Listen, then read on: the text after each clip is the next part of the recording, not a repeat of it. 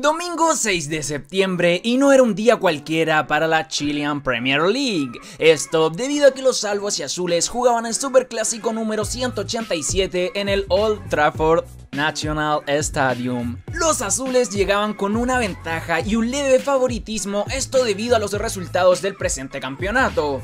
Sin embargo, con la estadística de no poder ganarle a su archirrival desde el año 2013, por lo que por la vereda del cacique buscaban mantener esta supremacía, además de escalar en la tabla. Así que sin mayor dilación, comencemos con la acción.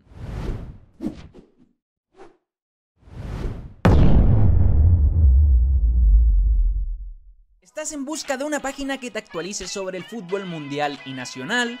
Pues no busques más. OneFootball es la indicada, que además de informarte de todo sobre el deporte rey, cuenta con una nueva interfaz, que te da mayor fluidez y así una mejor navegación. Y lo mejor de todo, totalmente gratuita.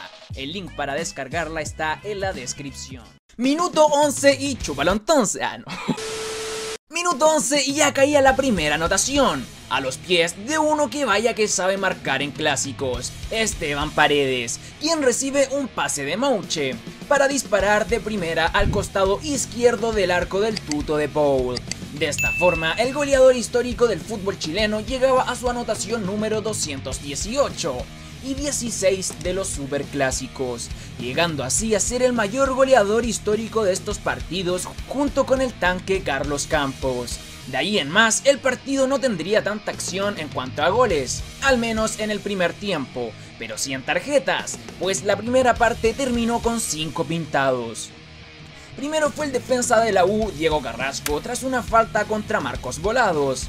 Posteriormente le tocaría a los salvos, siendo Gabriel Suazo el castigado tras una falta al Kun Guerra, cerca del arco de Brian Cortés. Posteriormente, Pablo Mouche y Larry Bay serían también pintados y Boseyur minutos antes del final del primer tiempo recibiría lo propio tras un manotazo a Marcos Volados. En el minuto 46, Universidad de Chile tenía un tiro libre, el cual fue ejecutado por Walter Montillo. Pelota que le llegó a Carrasco y al Rocky González, que chocaron y terminó yéndose el balón de forma ancha. De esta manera nos íbamos al descanso. Comenzaba el segundo tiempo y Universidad de Chile llegaba con dos modificaciones en su esquema, entrando Gonzalo Espinosa y Ángelo Enríquez por Cornejo y Guerra respectivamente. Tan solo al minuto de juego caía el empate, a manos justamente del recién mencionado Gonzalo Espinosa, quien en la primera que tocó anotó el empate con un tiro mordido desde fuera del área, dejando totalmente descolocado al golero Brian Cortés y logrando así la U un gol desde el camarín. Minuto 23 del segundo tiempo y entraba Matías Fernández con Nicolás Blandi por Leo Valencia y Paredes respectivamente, siendo el 14 de los blancos el encargado de generar una gran jugada de peligro para los salvos, bombeando un balón que dejaría solo a Nicolás Blandi de cara al arco azul encajando un cabezazo que se le iría elevado y desaprovechando así la oportunidad de volver a ponerse en ventaja para el cacique. Minuto 73 y el mismo Matías Fernández cometía un error en la entrega del balón, el cual aprovecharía Universidad de Chile, más precisamente Walter Montillo, que dejó totalmente solo a la Ribey de cara a Brian Cortés, quien estuvo notable para evitar el segundo gol del romántico viajero.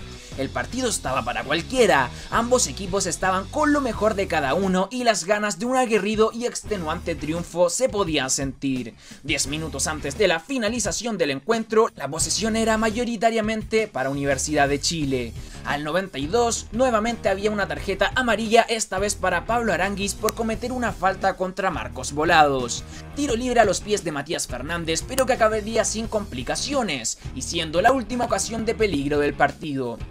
Superclásico número 187 finalizado y sin un ganador.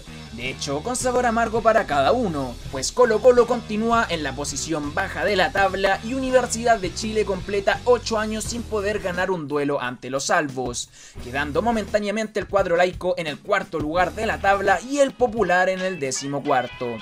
Junto con estos datos, Esteban Paredes continúa con su seguidilla de récords, pues luego de este superclásico se convirtió en el jugador con mayor edad 40 años en disputar un superclásico, el más longevo en marcar en este encuentro, ser uno de los máximos goleadores de los superclásicos y además Universidad de Chile se convirtió en el club que más goles ha recibido por parte del goleador histórico, demostrando que pese a la edad la calidad está intacta.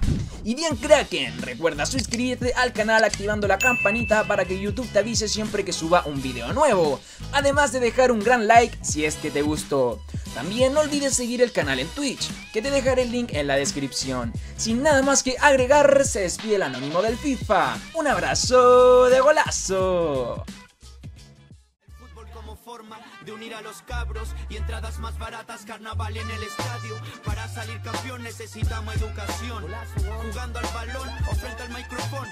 El fútbol como forma de unir a los cabros y entradas más baratas, carnaval en el estadio. Para salir campeón necesitamos educación. Jugando al balón o frente al